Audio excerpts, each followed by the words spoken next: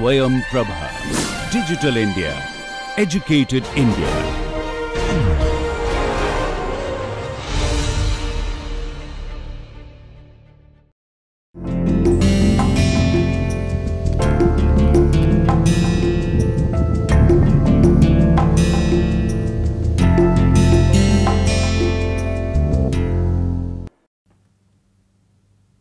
Hello everyone. Today we have our ninth lecture.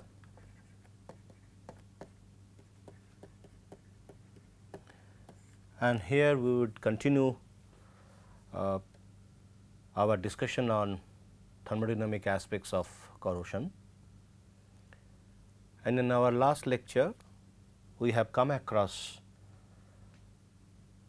a relation which is nothing but del g equal to minus n f e and this relation was obtained from the basic classical thermodynamics as well as electrical work. One side was classical thermodynamics which started from delta g equal to del h minus t del s and finally, we have got to the situation which is delta g equal to q minus w prime electrical plus minus q reversible. This is the relation we obtain and then finally, we considered reversible situation. In the reversible situation q equal to q reversible. So, we got delta g equal to minus w prime electrical. Whereas, on the other side we have tried to see the work done which is w prime electrical if there is some charge flow across a potential difference and that goes to N f E that one also we have seen. And from these two conditions since this is this is one relation and this is another relation we got to this relation. Now, this is the work which is the maximum work that is possible when we have 1 mole of substance either coming into the solution or getting deposited on a metal surface. Now, whether this is a maximum work or not that we can also prove from this relation. Let us say if it is irreversible process, then irreversible process q is not equal to q reversible.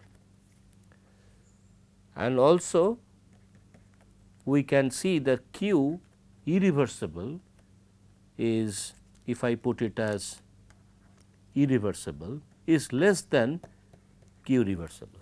The heat for reversible heat is more than the irreversible heat. Now, we are considering that the system is going irreversibly that means there is a spontaneous reaction a spontaneous process.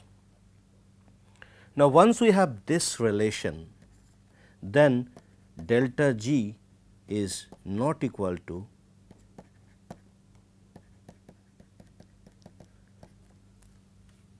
minus W prime electrical work.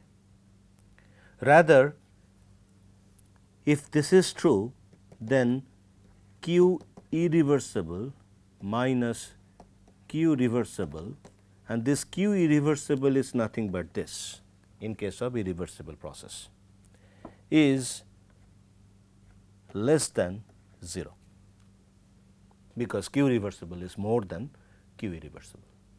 If it is less than 0, then we can get minus delta G is greater than W prime electrical. What it means? That the amount of free energy that is available for doing work, that work is that amount of free energy will not be able to produce the same amount of work what we have noticed in this case, which is reversible. So, in this case there will be some loss.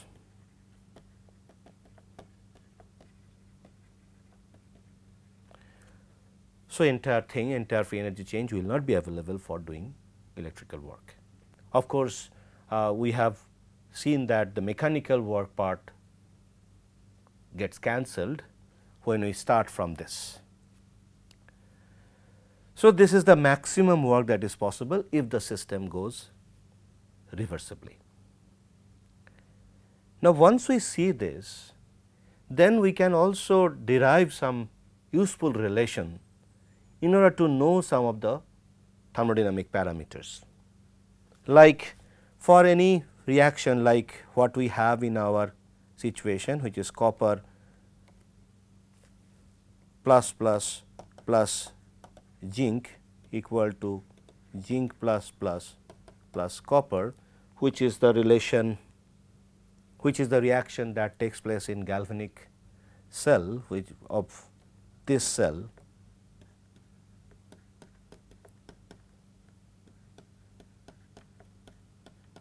This cell. And now we saw that the potential goes to potential difference goes to 1.1 volt provided the concentration of copper plus plus is 1 or activity of copper plus plus is 1 and activity of zinc plus plus is equal to 1 in the solution of copper sulphate as well as zinc sulphate respectively. This concentration has got huge importance we will see later on that how the concentration of oxygen in atmospheric condition affects the corrosion of iron. We will see later on when we talk about Nernst equation, because the Nernst equation will tell us uh, why that kind of situation arises if there is a change in concentration of oxygen. Now, this reaction the complete reaction of course, copper sulphate plus zinc is equal to zinc sulphates but copper. And this reaction must have some enthalpy change. It also involves some entropy change and then we know this relation. This is nothing but the free energy change for this re reaction and these free energy change actually gives rise to a potential difference. So, use other relations that we know uh, those are existing in classical thermodynamics. One such classical thermodynamics relation is del G equal to del V dP minus del S dt. This is a very very useful relation. Now, from this we can know that del delta G dt constant pressure is equal to minus del S. Now, we know that delta G equal to minus N F E, then I can get N F because N and F both are constant for a particular reaction. F is Faraday, 1 Faraday which is constant. This becomes dt P minus equal to minus del S. So, I am replacing del G with minus NFE. So, both sides this would get cancelled. So, this is the entropy change of a process. Now, if we know the variation of potential with temperature for a particular cell, we can also get the entropy change for that particular reaction. Now, on the other hand, we have this relation which is delta G equal to delta H minus T del S. Now, we have found out a relation like this which will give me minus N F E equal to delta H minus T which is of course will become N F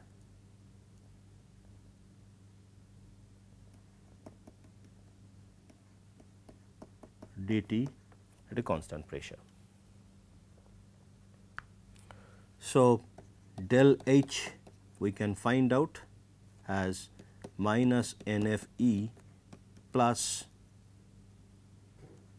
NFT del T P. So, this is the relation we can get or we can also get E equal to minus delta H NF plus T del E del T P. This also we can get. So, this is uh, these are two important relations what we can obtain from our from our understanding on classical thermodynamics and from there we can also find out this for that particular reaction. Now, we can have an example on this. The example what I would like to put up uh, the problem statement if I try to see that problem statement. Let us say at 25 degree Celsius for a particular cell like this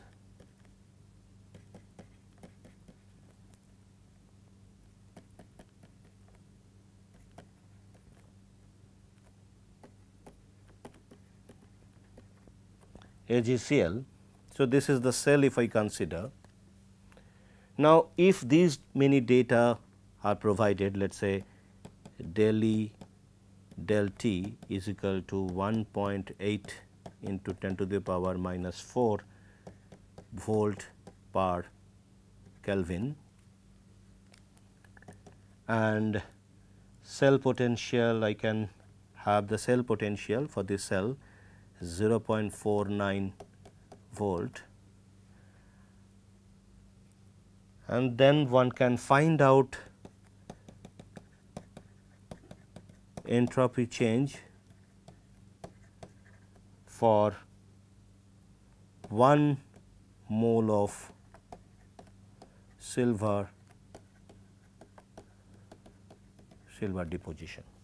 In this case on the right side there will be deposition of silver, on the left side there will be formation of lead, lead chloride. Now, we can also calculate the heat of formation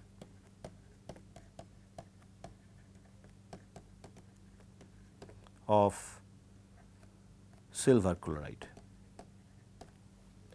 And the data another data that is provided is del H of PbCl2 is equal to minus 359,480 joule. So, now first we have to write down uh, the cell reaction and the cell reaction is half Pb plus AgCl equal to Ag plus half PbCl2. This is the relation. So, where I could see that this is plus, this is 0. So, this is my reduction or cathodic and here this is 0, this is plus 1 sorry plus 2 which goes to oxidation or anode. Now, the silver will be deposited on that silver silver chloride plate that interface. Now, here we have written this equation in such a fashion that I have 1 mole of Ag. Now, when we have 1 mole of Ag, the number of electrons that will be participating in cathodic reaction is So, this is 1. So, n would be 1 here and accordingly it is adjusted because once we need 1 electron. So, P b minus 2 e equal to P b plus plus. So, if I put half half, so this becomes 1. So, this 2 would get cancelled and now we see that the charge conservation is followed. Now, once we have this, now let us go and find out delta G for this particular chemical reaction, which gives me the potential difference that is 0.49 volt. So, this is equal to N F E which is minus 1 into 96500 as we have understood from our previous class that uh, 1 Faraday is equal to 96483 or something like that. So, uh, roughly it is considered as 96500 coulomb 1 Faraday and into this much volt. So, which is equal to minus 47285 So, this much is basically my free energy change. Now, once we know that then we can calculate we have the data d dt equal to 1.8 into 10 to the power minus 4 volt per Kelvin. From there we can calculate del S. Del S equal to N F del E del T. constant pressure. So, this becomes 1 96500 into minus 1.8 into 10 to the power minus 4. This is also joule per Kelvin. So, this value would be minus 17.37 joule per Kelvin.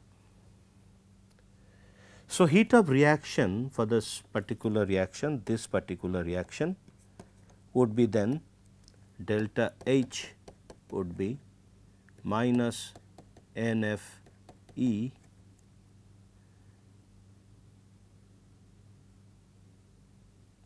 plus T del S. How come it comes? Delta G equal to delta H minus T del S so, delta H equal to delta G plus T del S and then delta G is equal to minus F E plus T del S. So, we can put those values this is minus 47285 since this value we have calculated from this equation delta G equal to minus NFE and we have found out that value to be minus 47285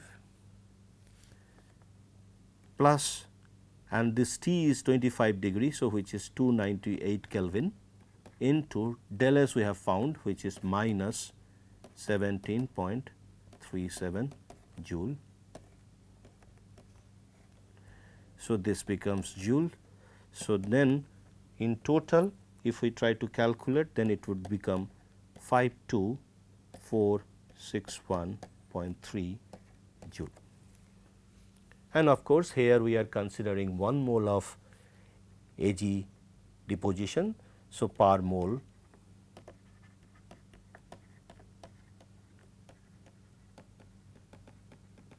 deposition.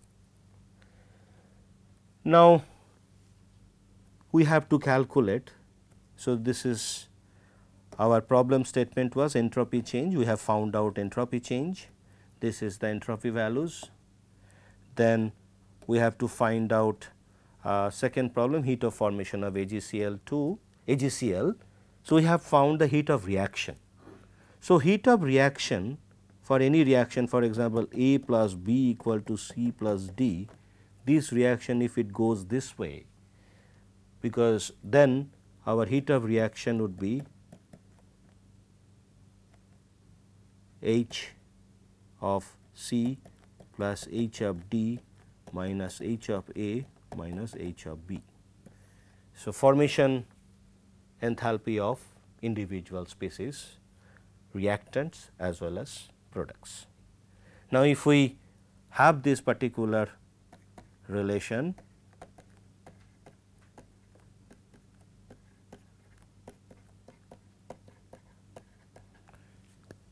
So, then for this we can write as H A g plus H half of PbCl2 minus H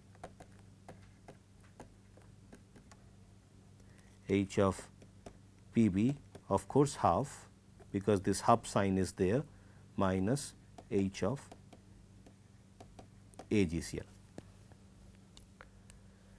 Now, if we perform because this is happening at 1 atmosphere and 25 degree Celsius and if we consider that these are pure substance, those cases they can be written as standard values. So, this superscript 0 I am putting because those are standard values and as per convention if we have a pure metal the stable condition which is solid in case of Pb as well as Ag at 298 Kelvin and 1 atmosphere pressure is going to be 0.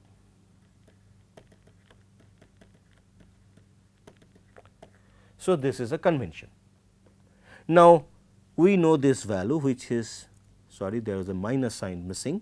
So, minus 52461.3 this is the heat of reaction for that.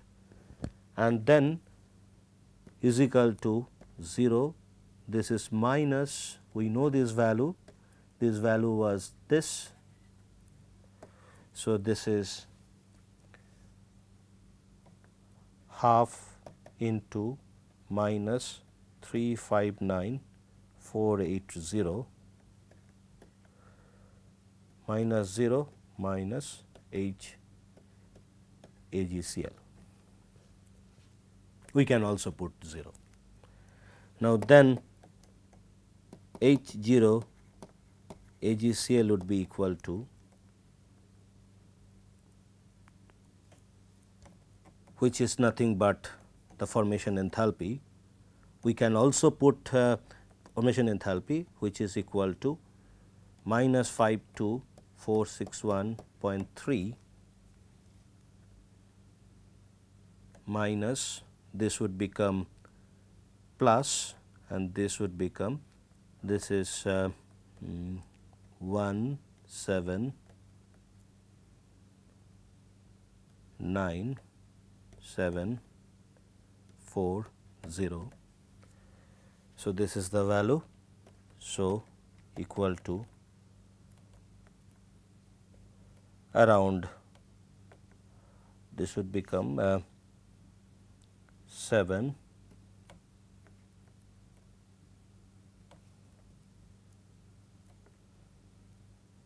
8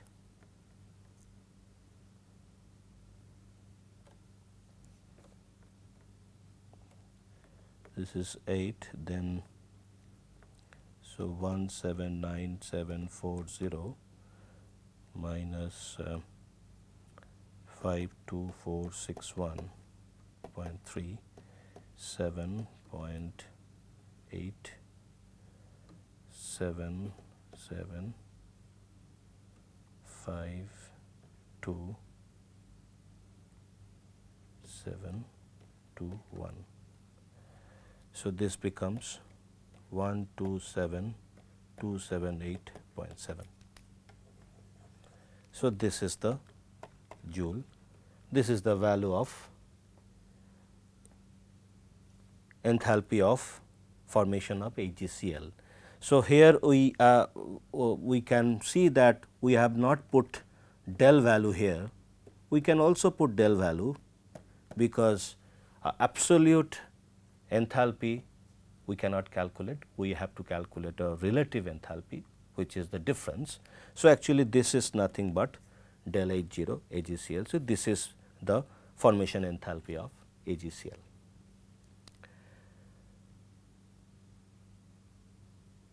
So, uh, we could see that uh, from this relations we can have lot of informations on the formation enthalpy of a species, uh, entropy change for a particular reaction as well as we can also calculate enthalpy change for a particular reactions.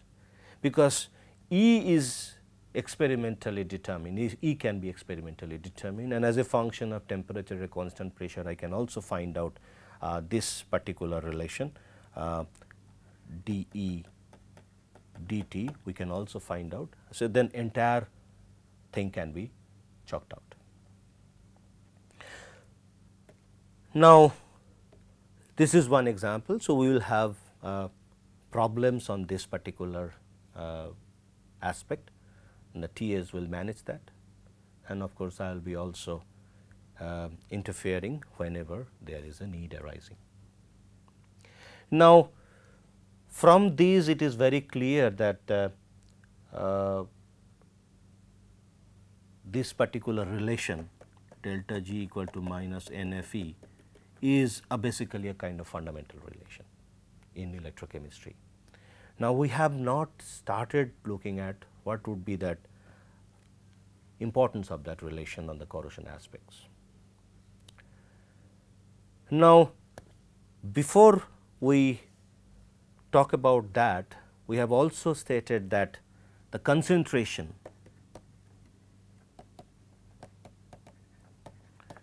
of solution is very important.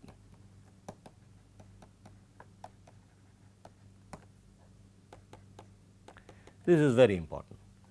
Until unless we have some relation between E and concentration, we will not be able to quantify and that quantification would be possible if we have a relation which is popularly known as Nernst equation uh,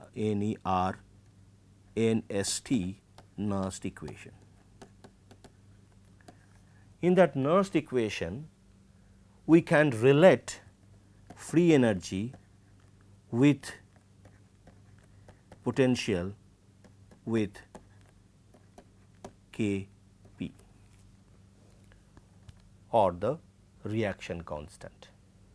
So, this Nernst equation will enable us. We have understood this relation which is delta G equal to minus N F E. We have to understand the relation between these two. This relation we have to understand and then we will see that how this concentration comes into play. Let us stop here, we will continue our discussion in our next lecture.